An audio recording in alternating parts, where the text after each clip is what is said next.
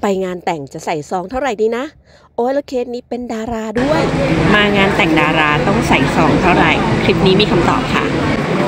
สำหรับวันนี้นะคะ แพรลินก็มาแสดงความยินดีกับพี่ฟลุก และก็พี่ลีนะคะ เจรวนนท์และแน่นอนค่ะงานนี้นะคะ ก็จัดงานได้สมศักดิ์ศรีนะคะตระกูลซีพีดารานักร้องแล้วก็นักธุรกิจแถวหน้าประเทศมากันครบเลย ถ้าเพื่อนๆทุกคนเจอสถานการณ์แบบแพรลินแบบนี้ เพื่อนๆคิดว่าจะใส่ซองกันเท่าไหร่ดีคะ แล้วใช้เกณฑ์อะไร เรื่องเงินเงินทองทองแบบนี้เลยต้องมาแชร์สำหรับแพรลินนะคะ ก็จะใช้ทั้งหมด 3 เกณฑ์ค่ะ เผื่อเพื่อนๆนำไปปรับใช้นะคะ เกณฑ์ข้อที่ 1 ค่ะ นั่นก็คือความสนิทค่ะ แล้วก็บุญคุณด้วย ถ้ายิ่งมีเยอะนะคะ แพรลินก็จะใส่ซองแบบจัดหนักจัดเต็มเลยค่ะ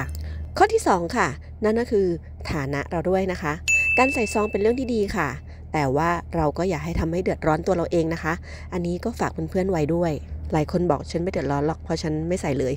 ไม่ใช่ไม่ได้นะคะ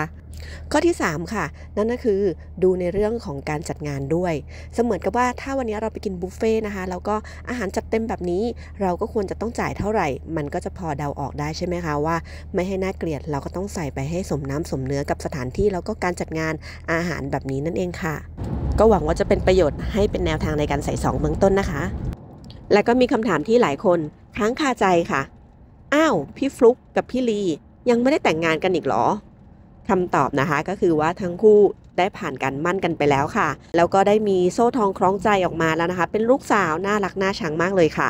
แต่ทั้งคู่นะคะยังไม่ได้จัดงานฉลองมงคลสมรสค่ะ เนื่องมาจากสถานการณ์โควิดนั่นเอง ตอนนี้นะคะก็ด้วยระยะเวลาอะไรทุกอย่างที่มันเหมาะสม ก็เลยได้จัดงานอีกครั้งนะคะ ก็ขอแสดงความยินดี